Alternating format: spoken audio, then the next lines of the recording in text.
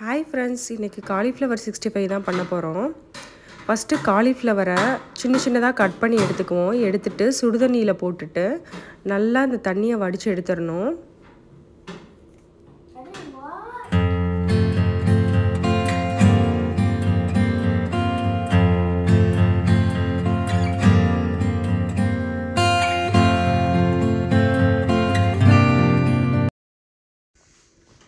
இப்போ அடுத்து காலிஃப்ளவரை மேரினேட் பண்ணுறதுக்காக ஒரு டீஸ்பூன் இஞ்சி பூண்டு பேஸ்ட் எடுத்துருக்கிறேன்.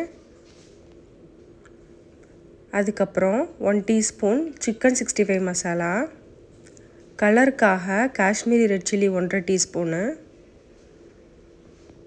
ஒரு டீஸ்பூன் கார்ன்ஃப்ளவர் மாவு ஒரு டீஸ்பூன் அரிசி மாவு கொஞ்சமாக உப்பு. நீங்கள் பைண்டிங் இன்னும் கொஞ்சம் ஜாஸ்தியாக வேணும் அப்படின்னா ஒரு டீஸ்பூன் கடலை மாவும் ஆட் பண்ணிக்கலாம். நான் இன்றைக்கி இது மட்டும்தான் ஆட் பண்ணுறேன் ஆட் பண்ணி ஒரு டென் டு ஃபிஃப்டீன் மினிட்ஸ் ஊற வச்சுருவோம்.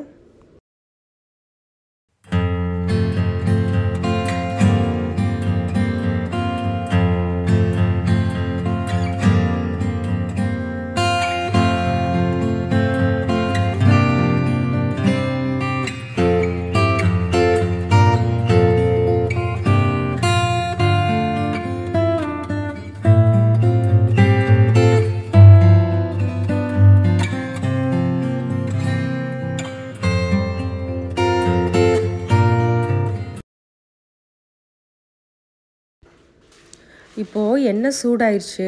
இப்போ நம்ம ஊற வச்சுருந்த காலிஃப்ளவரை பொரிச்சு எடுத்துக்கலாம். அவ்வளோதான் ஃப்ரெண்ட்ஸ் ரொம்ப சிம்பிளாக ஈஸியாக ஒரு டென் டு ஃபிஃப்டீன் மினிட்ஸில் நம்ம பண்ணி முடிச்சிடலாம். இப்போ பொரிச்சு எடுத்தோம்னா சுவையான சூப்பரான முறுமுறுப்பான காலிஃப்ளவர் சிக்ஸ்டி ஃபைவ் ரெடி ஆகிடும்